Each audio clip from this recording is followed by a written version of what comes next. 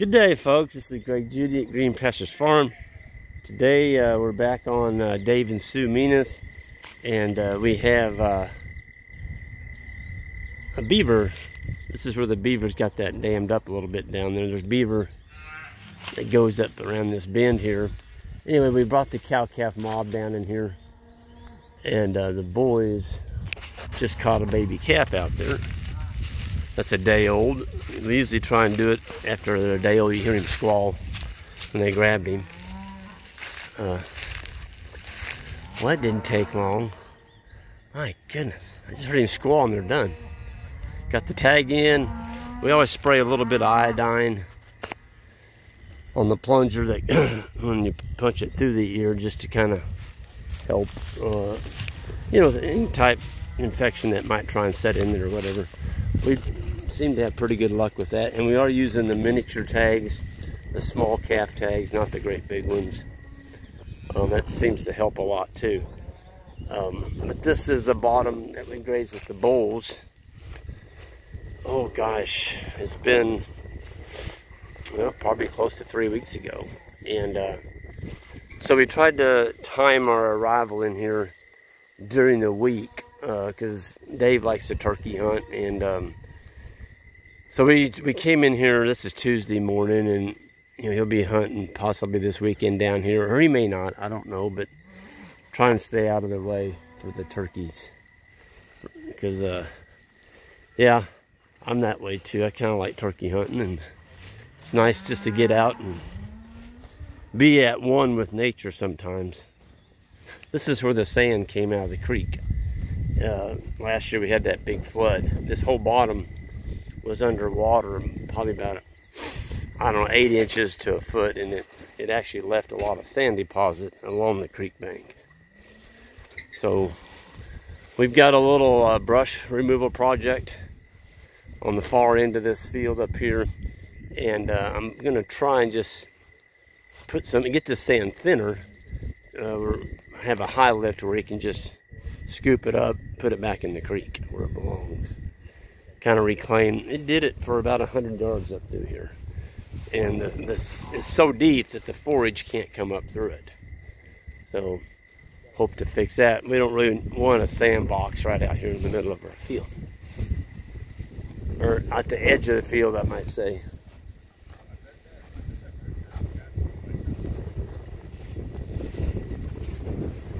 It's a pretty sight. It's like Isaac said a while ago. It's a nice warm morning. Got a little breeze.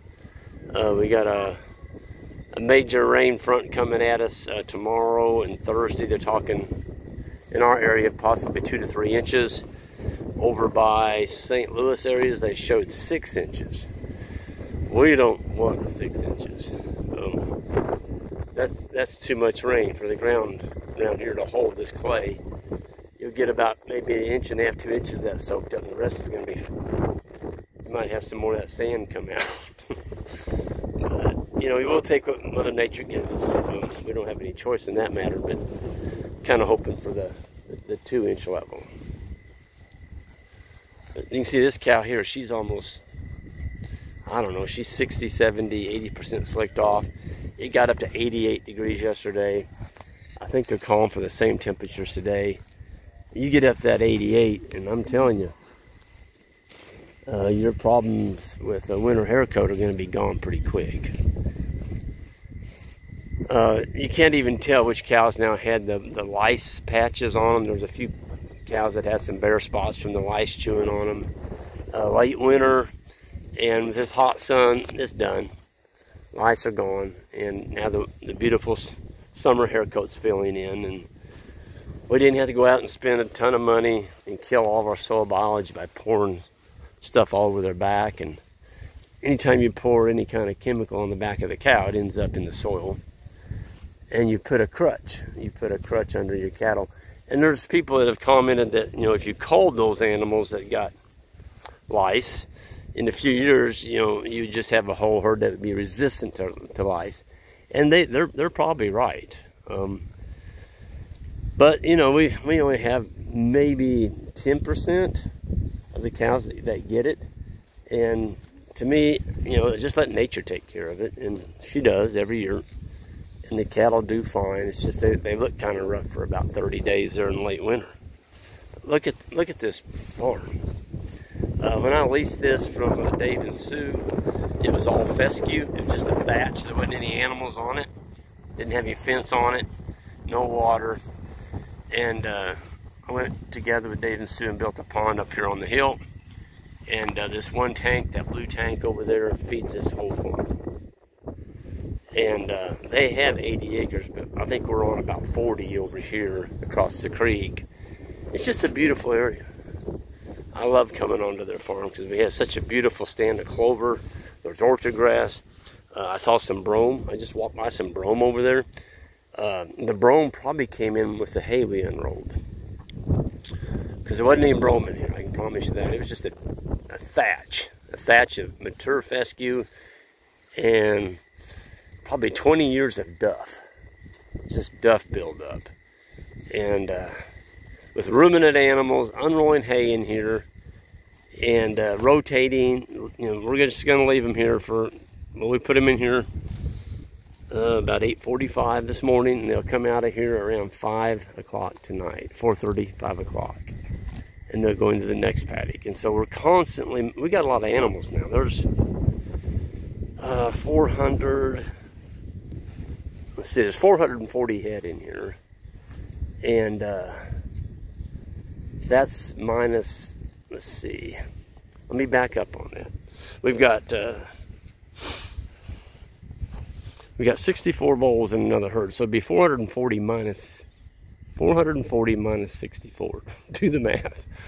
Um, there's a bunch of them, and there's, a, and there's tons of baby calves being born every day. So when the cows calve, their uh, dietary uh, requirements double.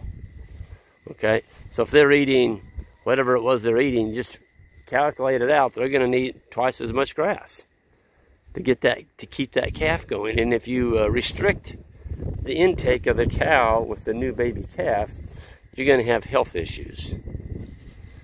You're going to have health issues, not only possibly with the cow and the calf. I mean, the cow's going to get thin. She's not going to rebreed. And the calf's going to have possibly pink eye, pneumonia, you know, you name it. Look at that little calf. Oh, she's just a beaut. I love watching them play. Um, there's our pet cow. I don't know why she's a pet because we never. She's just a pet, 864. She's always been just a pet. And we were just, you know, hoping that she'd make a good mama, and and she is. She's she's awesome, mama. Aren't you 864? Yeah. Yeah. Get your head scratched this morning. I love my cows, but you know, you can't fall in love with them to the fact that if they don't perform, you got to get rid of them. And so if 864, for whatever reason, doesn't do her job, you know, you, you have to get rid of her and make a place on your farm for one that will do what you want them to do. That means giving you a calf every year. They're docile, they're not goofy. There's one of the steers we put in. There's 20, 22 head of steers that we dumped into the herd um, when the mob moved on to this, what we call Doc's farm. And now we're on the end of Doc's, actually into Minas, uh, Dave and Sue. So, yeah, it's it's a beautiful, beautiful time of year. I love it because, you know, the cows are getting everything they need from the grass. We don't have to worry about unrolling a bale of hay. We're just giving them mineral and uh, an update. I'm gonna head back over to the boys. They're the ones that uh, been moving the mineral, and they they've got a report to make. Uh, you know, on the on the free choice mineral, and the uh, right now we're experiment we are on is sea salt with uh, apple cider vinegar in it. So we're putting a 50 pound bag of sea salt mixed with a cattle mineral, a two to one ratio. So I'm gonna have the boys explain that a little bit. And uh, black cow shedding, look at that. Coming off her, coming off her run in. So what, what have you all noticed about the mineral when we, we switched to doing the, the vinegar? Like that cow's rubbing on it a little bit right now That's not a feed bunk, folks. That's where we got our apple cider vinegar and the sea salt. But what have y'all noticed? They're definitely preferentially eating that.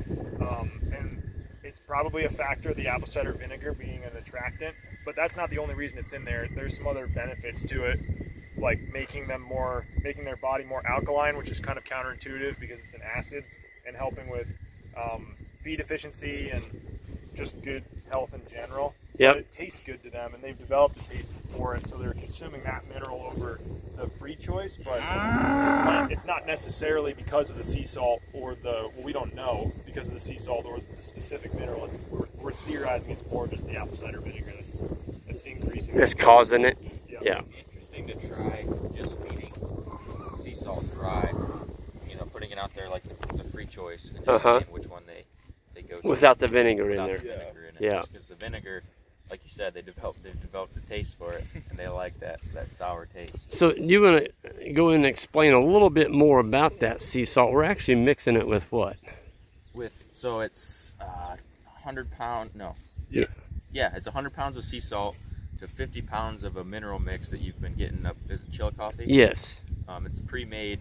Um, it's got however many minerals, like different, like 20 or something. Yep. more. And then it's got, of course, vitamin A and D in it. And so then that's getting mixed up dry, and then we take whatever, probably 50 pounds of that of that mixture, two to one, put it in here in the trough, and then we mix the apple cider vinegar about four gallons to 100 pounds roughly. Although we've reduced that significantly. Yeah, significantly. because the, the cows. Tanking up on it. I mean, we filled that yesterday. There's no vinegar in there anymore, and so we've been giving them just like maybe a gallon or two gallons at a time. Yep. Just to kind of ration them out a little bit. Well, people are asking us where we got the vinegar from, and the actual source, uh, I think you can go to probably Steve Campbell's website. I think he has it on there. It comes out of Idaho. I don't know the actual name of the vinegar company. Golden Valley. Was it? I think it's Golden Valley. It's like golden. It's either golden apple or gold, but it's Steve. Like you're right, the Steve Campbell thing. Yeah. He, it should be. He he sort of distributes it, or I don't know what his role is with it. Right. Um, Promotes it, I guess. yeah. But it comes in a tote. Uh, was there 275 gallons in there? or two fifty. It was like one of those whatever. The Yeah. square- The square plastic. Is it? What's the name of those things? the Uh, tote- tote. I- I- Tote. Yeah. Yeah, reinf- it's got a. re- Is it reinforced? Does it have the metal Yeah. Yeah. It has the Yeah. around the edge? around the Yeah. yeah. It's like what do you would buy giant quantities of like food safe liquid in. You Yep. know what I mean? Or Yeah. some sort of puree or something like that. And it's got a big old spigot. It comes out fast, doesn't it? Yeah. right, right now, so all the good stuff settled to the bottom, and we're still working through that good, probably about the foot foot deep Sediment. of yeah. sediment at the bottom. So Yeah. that's what the cattle are getting, which Yeah. Yeah, It's the whole apple, whole apple vinegar. ground up. Yeah, it's, it's supposed to be good stuff, um, and it's like or, organic, like Yep. Non-certified, but it's still you know organic practices if you want to call it that. Um, interesting. I don't know. Yeah, I'd like to do a comparison of dry to dry, just because, like Yeah. said, the vinegar. Yep. Yeah. The vinegars are attracted, and they're definitely attracted to it now. Right. And that's Well- a good, good thing because Right. we're trying to load them up Yep. on a lot of mineral, and so Yep. the vinegar is just increasing their salt and their mineral consumption than it otherwise would, in theory. Um, Maybe once we get done calving and, and everything kind of slows down, we'll be able to do it this summer. Yeah. Yeah. Well, I'm, I'm surprised Yeah. how, how quickly they just backed off the free choice because we've been getting good consumption until we offered that other, and now they're not hardly even I don't touching think it. we've filled it since we started calving. Like No. it's been Yeah. a month at least. Yeah. Yeah. Filled re- re- And before, you know, we were adding this and that about every other day. yeah, every couple days we have Yeah. to add a bag or two. Yeah. and they still like they're still sort of interested in it but you can tell not only with the consumption but when you see like the amount that's stomped around that Oh, man, it's tore up. Yeah. this is, is, is hugely different so they're Yeah. spending a lot more time around that than they are this Yeah. but We also, Well- the, the Redmonds too, if we could do like Redmonds, the Kansas Yep. salt mix, and then the free choice salt mix to each other. We almost have to get another tub Yeah. yeah like that one. Yeah, another Just trough. one of those blue ones, and just fill it. Those blue pull behind. Oh, the uh, the three compartment Yeah, ones. one. That's not really fair. yeah it's true Yeah. there's not enough There's not enough bunk space. So if you're gonna do a trial, we want to do it, you know, apples to apples. as close as we can Yeah, close as we can. And if we if we're gonna pour vinegar, in the seesaw, we'd have to do it in the Redmonds too. Yeah. I, I don't know. I, I had somebody comment the other day on YouTube that they tried the the garlic influence Redmonds and they had trouble with their cows on intake. Like they didn't like the Yeah, smell of I it. can see that. So we'll we'll find out. I mean, heck, they may go after it like gangbusters. I don't know. It, it would be cool though to do once once we're not as concerned about Right. sure they're heavily mineralized, doing a dry to dry to dry. Yes. And do it for a couple weeks and just keep track of. Yep. How much we How put much we put out. Yeah, and how much consumption we're getting, and yeah, that'd be interesting. We also kind of stopped doing the water thing too, so maybe this summer, once hot, we maybe trying that. Yeah, putting our tea bags back in the water. Yeah. You notice the animals are really slicking off, guys. Oh yeah, They are. like look at that cow, she's almost completely slicked off. Yeah, her back didn't hardly have any hair on it. Tiny bit of peach fuzz on the top. Yeah. And that's Grandma right in front of her. Yeah. Grandma's slicking off on the neck and her belly. There's old crooked horns, she's Yep. Cricket horns slicking off. Yep. Well, I'm going to go ahead and wrap this up. We've got a beautiful morning here in April. Uh, grazing school is coming up, and uh, that's going to be uh, May 6th to the 8th. We've had some people that had some uh, personal issues come up, and they're going to have to uh, cancel this time. And so there's a few spots uh, left open on that. If you're interested, you can go to our website at greenpasturesfarm.net and hit that subscribe button on the way out and that like button. And uh, we'll see you next time down the road. Take care.